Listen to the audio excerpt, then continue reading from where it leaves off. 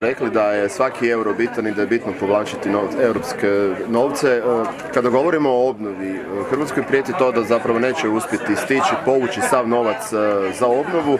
Rok je do lipnja iduće godine. Je li vrijeme da netko počne snositi odgovornost i ponudi ostavku na funkcije koje su odgovorne za obnovu i zbog same sporosti?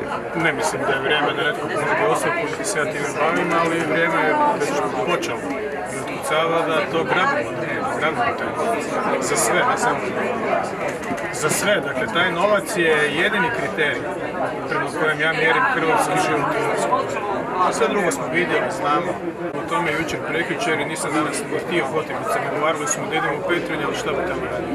Dakle, ne znam, prozivao vladu, to neću raditi, rekao sam što mislim i mislim da ima vremena i da se to još može riješiti, ali kažem, tu treba i malo siline dakle, malo bageraškog pristupa jer to su izvanredne situacije koje traže malo posebnije. Ne može to biti dakle, tretirano kao povijesna jezgra grada Zagreba. To mora ići